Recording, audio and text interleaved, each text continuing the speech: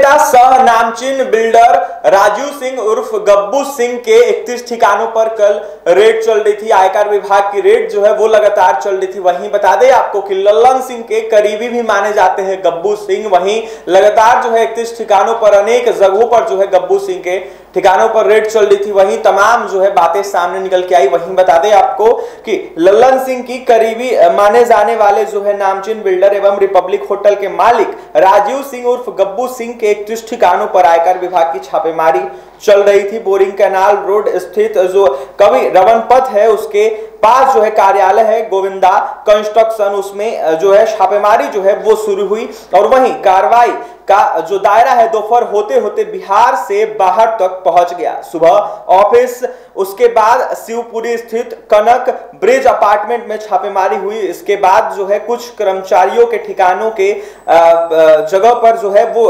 छापेमारी हुई। वहीं टीम पहुँच गई सीबीआई की और वहीं रेड करना शुरू कर दी। वहीं राष्ट्रीय जो राजधानी क्षेत्र के विभिन्न ठिकानों पर छापेमारी की गई है और वहीं पटना, दिल्ली, गाजियाबाद और नोएडा स्थित कंपनी के ठिकानों को जो है शुक्रवार की रात तक खंगाला जा रहा था। वहीं आईटी ने जो है Shri Govind construction private limited company के मालिक गब्बू सिंह के पैटर्न्स जो मुन्ना सिंह हैं वो, और अरविंद सिंह जो है वो वो, और संतोष कुमार सिंह एवं साहनी कंस्ट्रक्शन के जो है, मालिक जो है, उन पर कार्रवाई की गई है। वहीं बता दें आपको कि आयकर विभाग की टीम सबसे पहले उनके कार्यालय पहुँची थी दोपहर से जो है, पहले झारखंड से भी आयकर विभाग की टीम आ गई थी, और इसके बाद कार्रवाई का दायरा बढ़ता गया। गब्बू सिंह की पहचान बिहार में सबसे बड़े बिल्डर के रूप में होती है जो श्री सिंह है, उनके रिश्ते कई बड़े जो है, राजनेताओं से होने की चर्चा है और वहीं पटना के बाहर भी करोड़ों रुपए का कारोबार फैला हुआ है। गब्बू सिंह का अब तक लाखों के गहने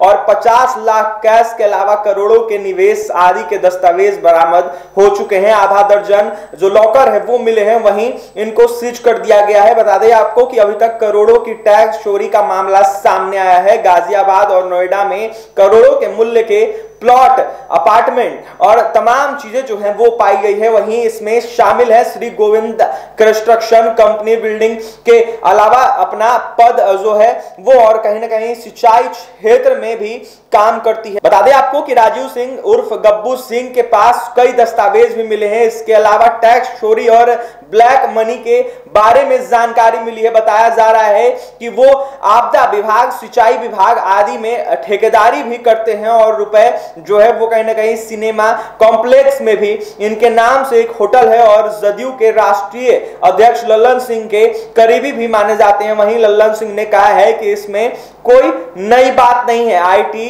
ईडी सीबीआई का इस्तेमाल यह लोग ऐसे ही करते हैं जैसे कोई कपड़ा बदल रहा है। अगर वह कार्रवाई करते हैं तो कोई कार्रवाई करने दीजिए, वहीं बता दें आपको कि गब्बू सिंह के 31 ठिकानों पर जो है, वो रेड चली है, करीब 50 लाख रुपया जो है कैश पकड़ा गया है, वहीं लगातार रेड चल रही है, तमाम जो कर्मचारी है गब्बू सिंह के, उनके कई ठिकानों पर जो रेड है, वो चली है 50 लाख रुपया सीज कर लिया गया है, कई दस्तावेज़ मिले हैं, कई प्रॉपर्टी के जो कागजात वो मिले हैं, वहीं बता दें आपको कि लगातार यह जो मुद्दा है, बिहार में सुर्खियों में बना है, लल्लन सिंह के करीबी माने जाते हैं, क्योंकि जदयू के राष्ट्रीय अध्यक्ष लल्लन सिंह है और लल्लन सिंह से जब सवाल किया गया तो यह ईडी के ईडी को जो है वो आ, कपड़े की तरह इस्तेमाल करते हैं। यानी कि सीधा सीधा ललन सिंह का भी बीजेपी पे तंज था क्योंकि बिहार में महागठबंधन की सरकार है वर्तमान में और जिसको लेकर लगातार बीजेपी पर आरोप जो है महागठबंधन की सरकार लगाती है वहीं लल्लन सिंह भी लगातार आरोप जो है वो बीजेपी पर लगाते हुए नज़र आ रहे थे। फ़िलहाल इस खबर में इतना ही और भी तमाम खबरों के लिए